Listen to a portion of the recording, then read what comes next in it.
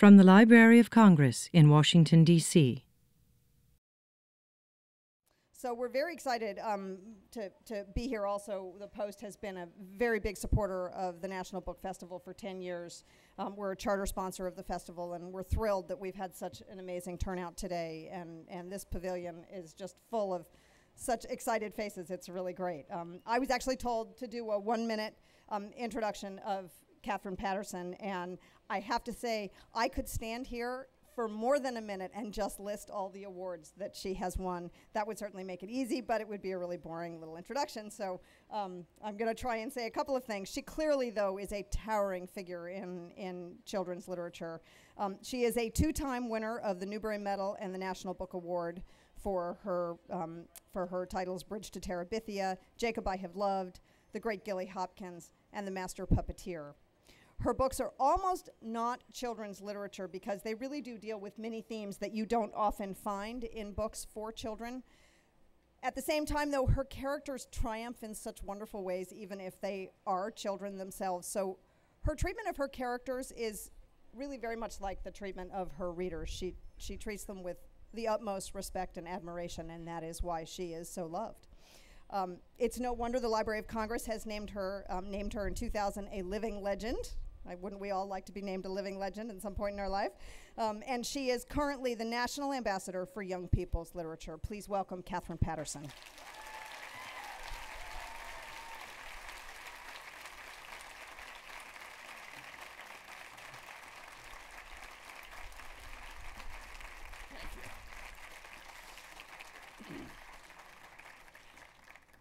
Well, I, I cannot believe all of you have waited this long on this hot day.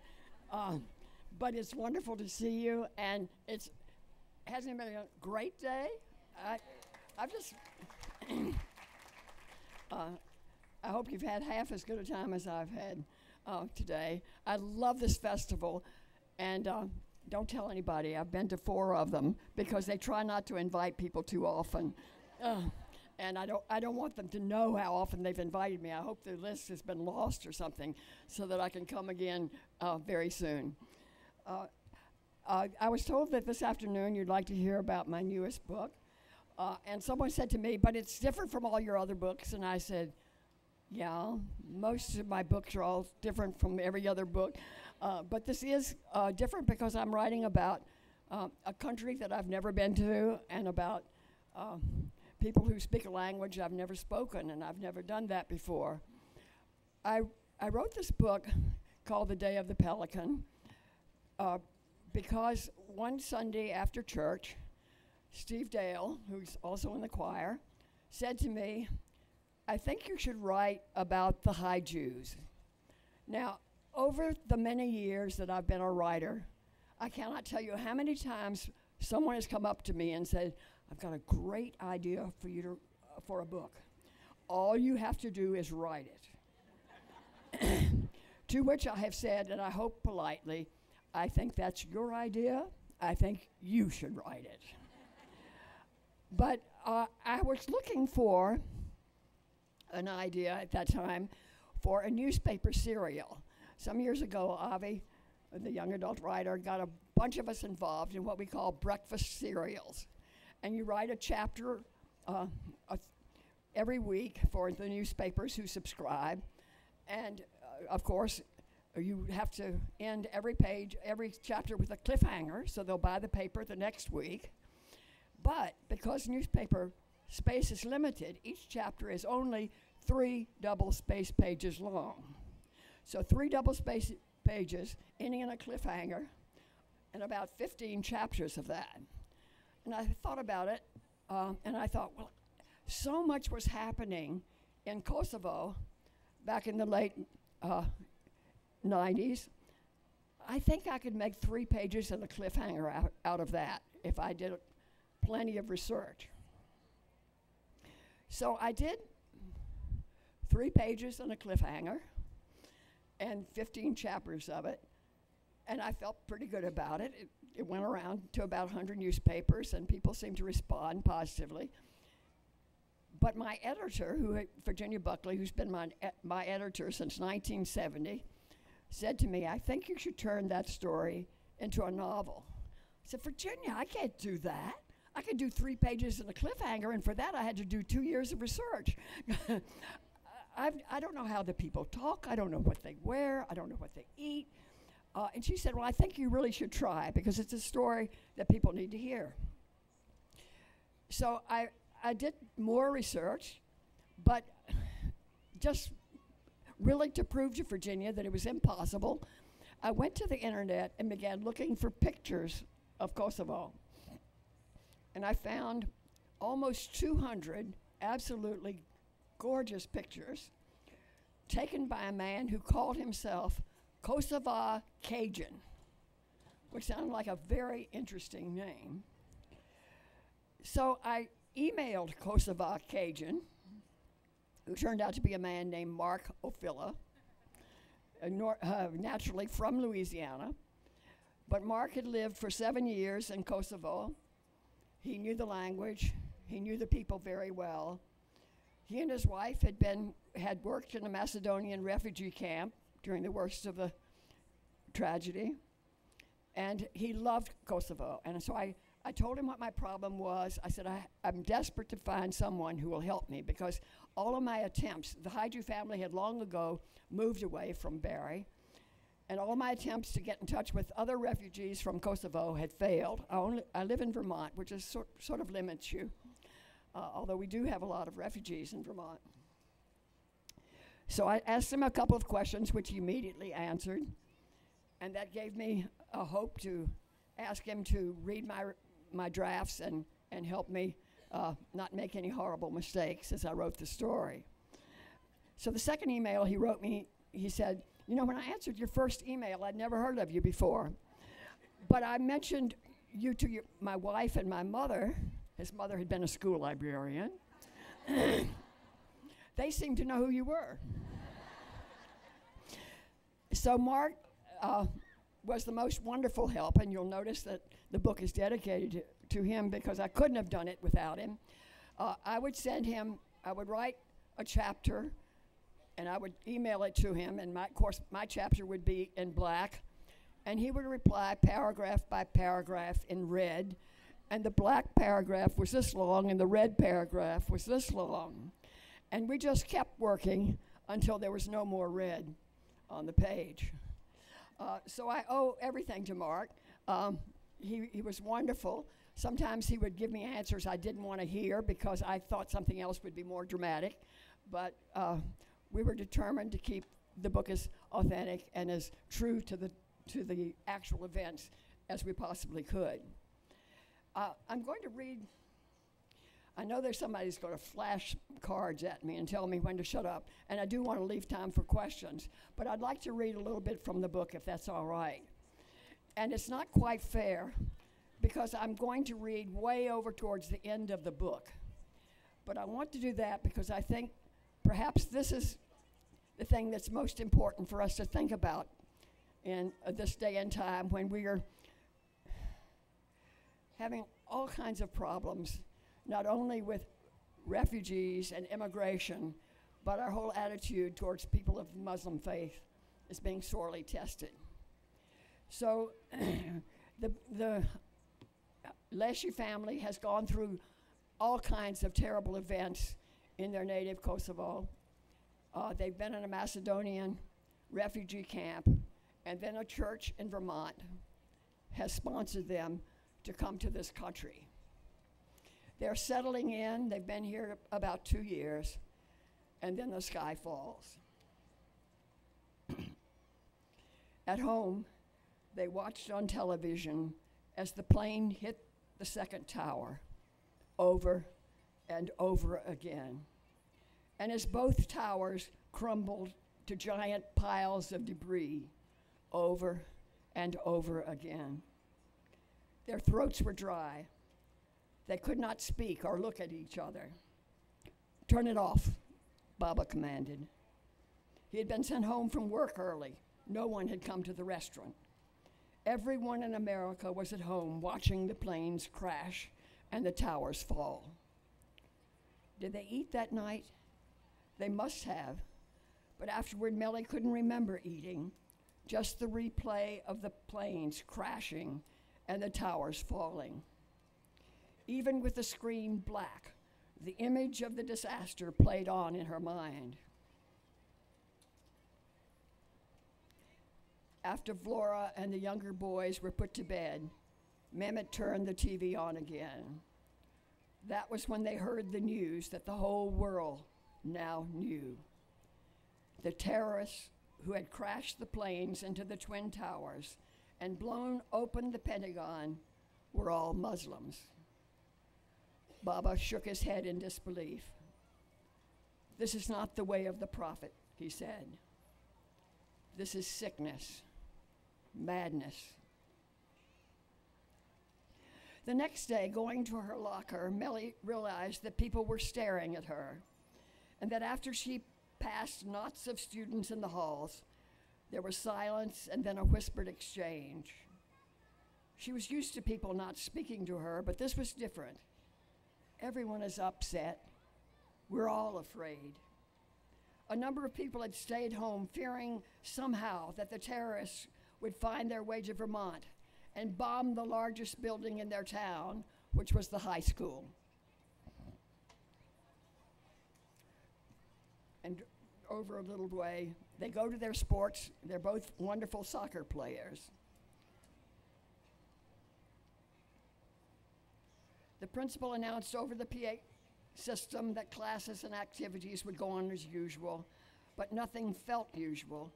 During soccer practice, no one passed her the ball. She tried to pretend that she didn't notice the strange looks sent her way. Once she found herself sprawling on the field. No one had meant to trip her, had they? But later, as she showered, she could hear one of the seniors talking. It was Brittany, the varsity goalkeeper.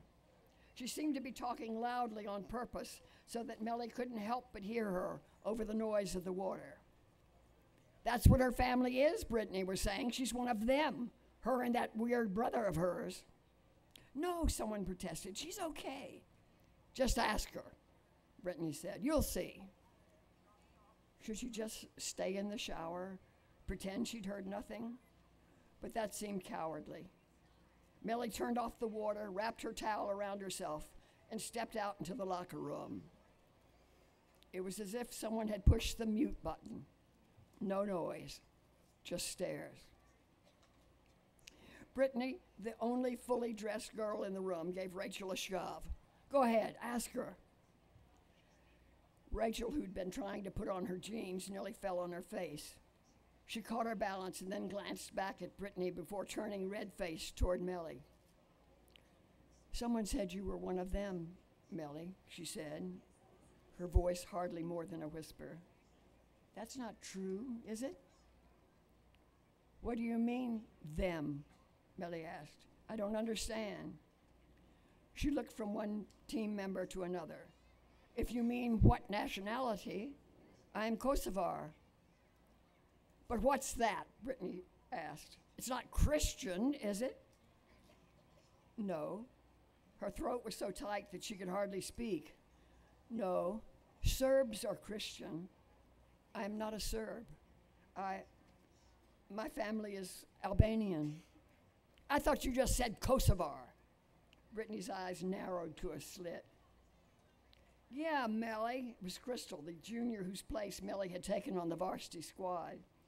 What are you really? I told you. I'm Albanian Kosovar. Come on, Meli. Brittany stepped around Rachel and glared at Meli. You are one of them. You know you are. Explain what you mean, them. Of course, by now, Meli knew full well what Brittany and the others meant by them, but she wanted to make Brittany say it out loud to her face. How am I one of them? She leaned so close to Brittany that she could see the pimples on the girl's cheeks set to explode. Brittany straightened. Like the terrorist. She stepped back slightly. You know, like their religion. I'm not a religious person. Meli walked over toward her locker and opened it. I told you she wasn't Christian. I'm not a religious person, Meli continued, keeping her eyes on her locker and her voice as steady as she could. But if I have to choose Christian or Muslim, then okay, I am Muslim. She turned around. But that doesn't make me one of them. I'm not a terrorist. Brittany shoved Rachel forward once more. Meli wrapped her towel more tightly around herself and looked into the face of the girl she had thought of as her friend. Rachel looked everywhere except at Meli. Ask her about her brother, Rachel, Brittany demanded. Ask if he's a terrorist. It is not terrorist to want to fight for your homeland. As soon as the words were out of her mouth, Meli knew she should never have said them. Rachel backed away, her eyes wide. See? Brittany yelled so loud her voice reverberated round the tile. See? I told you. She whirled around toward the locker. Opening the door, she grabbed her book bag and threw it over her shoulder before she turned again toward Millie. Why don't you and your brother just go back to where you came from? We don't want any Muslim terrorists around here. With that, she slammed her locker shut and marched out of the locker room. For a few minutes, they all stared at the door as it swung behind Brittany. And then, careful not to look Meli's way, everyone finished dressing quickly and left, leaving Meli standing there alone, shivering in her towel. Pull yourself together, get dressed, go home. She was thinking in Albanian. How long had it been since she'd done that? She thought in Albanian only when speaking to Mama and Baba, never in school. She smiled grimly then, carefully, methodically, dried herself, and put on her street clothes. Next, she gathered up her practice uniform, her freshly laundered game uniform, her shin guards, and her mouth guard, and took them all through the swinging door to the coach's office.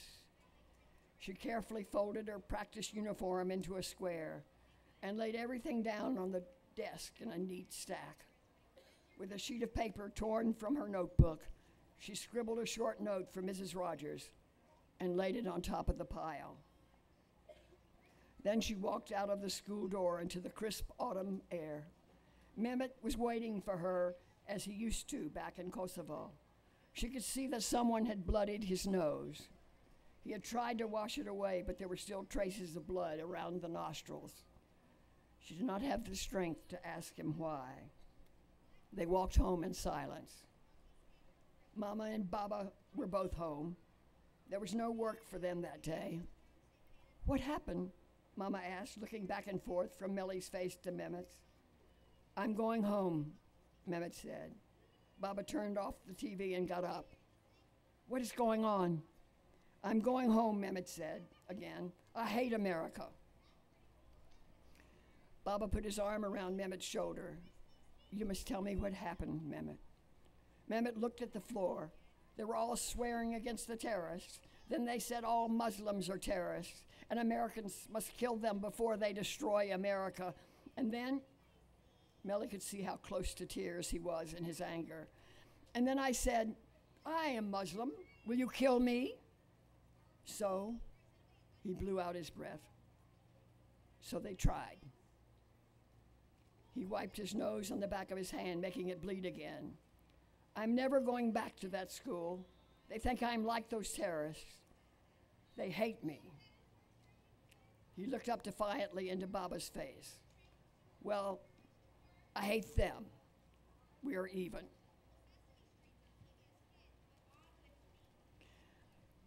And then I'm going to read a little later scene that takes place that night.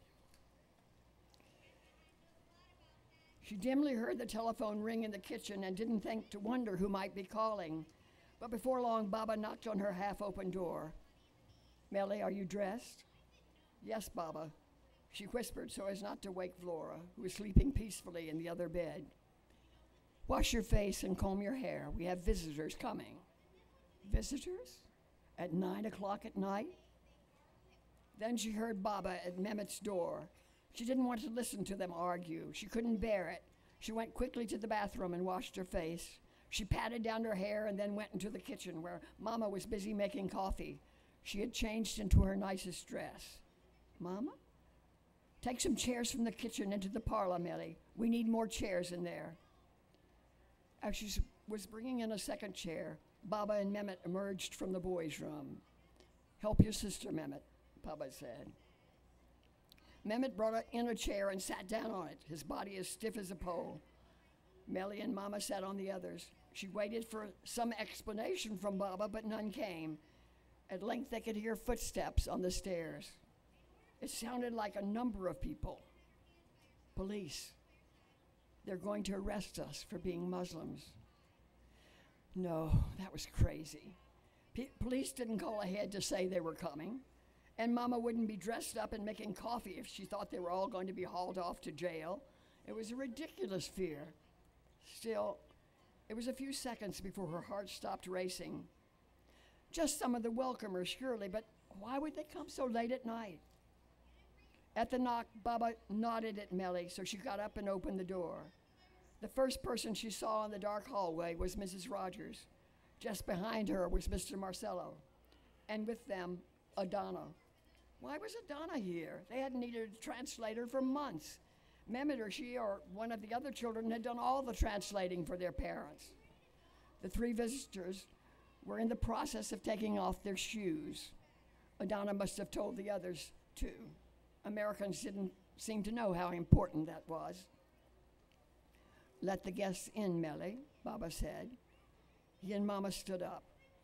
When Mehmet saw his coach, he started for his bedroom, but Mama grabbed his arm. How are you, Meli? Mrs. Rogers asked. Meli tried to smile back, but her face felt frozen.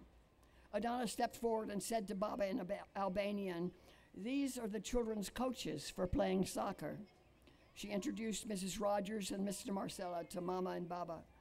The adults shook hands formally. Then Baba indicated that everyone, including Mehmet, was to take a seat. The three guests sat down on the couch. I have made coffee, Mama said shyly to Adana. Shall I bring it out?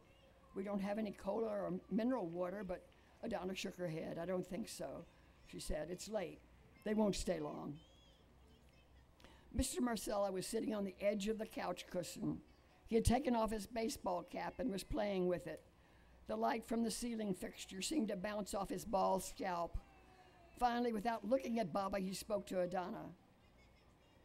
Tell Mr. Lleshi, the coach said, that I've come to apologize for what happened to his son today. Adana translated. Mehmet sat like a stone on the kitchen chair, his lips tight, a bruise on his face dark against his red cheek. Meli could still see the dried blood in his nostrils. Tell him, the coach continued, that it will never happen again. I will not tolerate this kind of behavior. Tomorrow, those boys are off the team for good.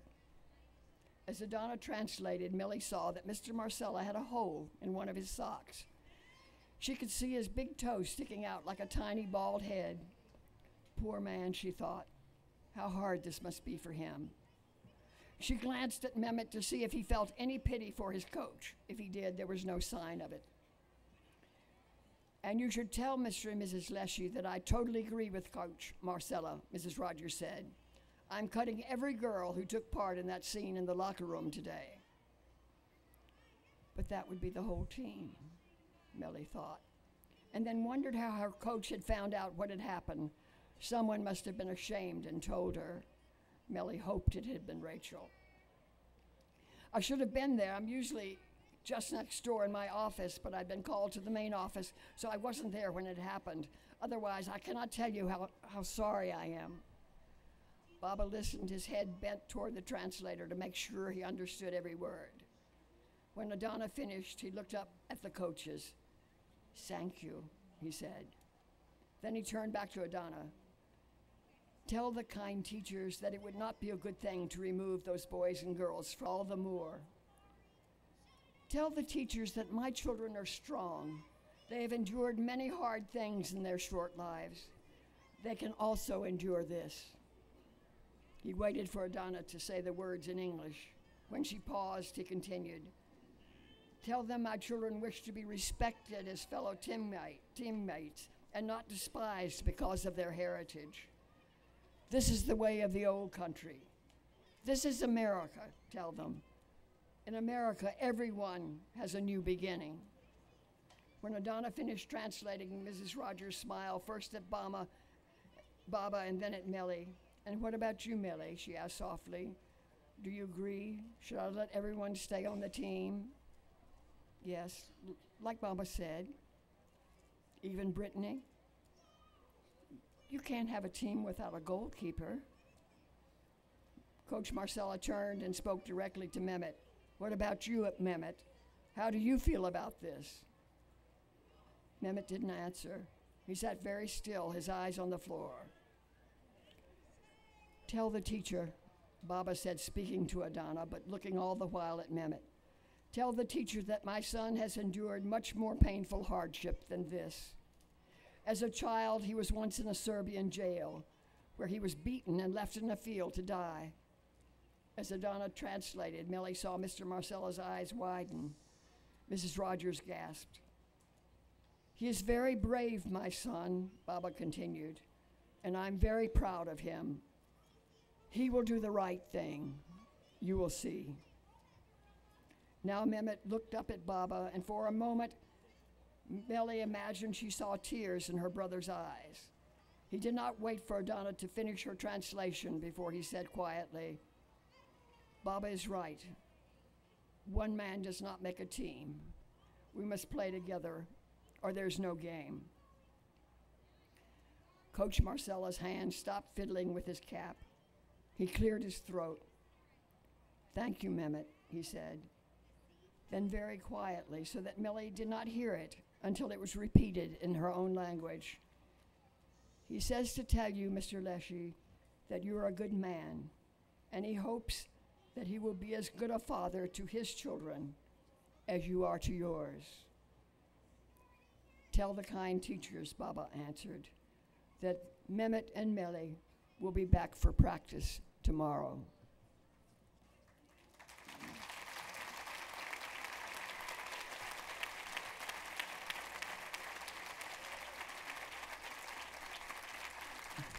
Thank you. I've been signaled that we have four minutes, so uh, if I don't make the answers too long, we should have time for a few questions. And I think there are mics in the um, aisle if, if anybody wants to step up and ask a question. Hi. Hi. I was wondering how you maintain authenticity when you're speaking from the voice of a child or a young person and how you maintain that connection. Oh, how do I maintain the connection with the child that I'm writing about? Yeah, you mentioned a little bit how you had authenticity talking about Kosovo and that experience. And speaking from the perspective of a young person, I'm curious how you're so authentic. I really enjoyed reading your books as a young person, and it's, it really spoke to me. And so I'm Thank curious how you did that. Thank- well, it, it's always very mysterious to me um, because, see my gray hair? um, I, um, I don't think I have actually a very good memory for details of my childhood and young youth, but I think I have a good emotional memory, and that's what I rely on when I write. Um, I remember how things felt. And um, in this book, I remember how it felt to be a refugee. I remember how it felt to come to the United States and be despised by my classmates. Uh, so I think that helped me uh, in writing the book. Yes. Um, what is your um, inspiration for the book Bridge to Terabithia? I wrote Bridge to Terabithia because our son David's best friend was a girl.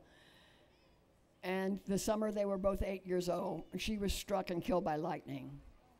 And it was such a terrible tragedy. I began to write the book to try to make sense of a tragedy that didn't make any sense to me. Uh, I didn't, for one minute, think it was going to comfort my grieving son, but I did think it might help me. And it, indeed, it's always been a very hard book for David to read. I think until he was in his 40s and uh, actually made the movie, uh, I think that was the thing that helped him the most to go back and revisit the book and to put it in another form. Okay, okay, thank you. And uh, by the way, I like the book. Thank you. mm, yes. Um, hi, I love your books, and I was just wondering how long it normally takes to write your. Well, it depends on the book. I did write a book in the shower what? but that's a record. And I've taken a lot of showers since then, and no more books in the shower. Um, but uh, that was really terrific. It was a fairy story called The King's Equal, and it just came to me all in a rush. Usually it takes me, uh, I used to say it took me a year. Now I say year, two years, three years, um, depending on, on uh, how much research and also what else is happening in my life. Thank you. How are we doing on time down there, Adele? One more minute? I guess we have time for one more question. Um, I love your books, and what was your reaction to um, um, the people that bought all your books so quickly? Oh, can you think of anything that would make you happier than to have people lined up with books that they had paid for, for you to sign that you had written? Uh, you know, when I'm in that situation, I just wish all those publishers who wouldn't publish my books could be there that day.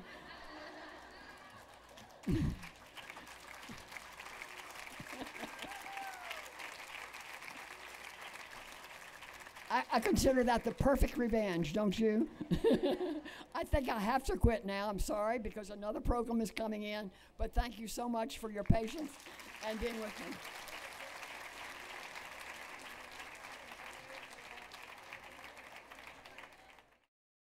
This has been a presentation of the Library of Congress. Visit us at loc.gov.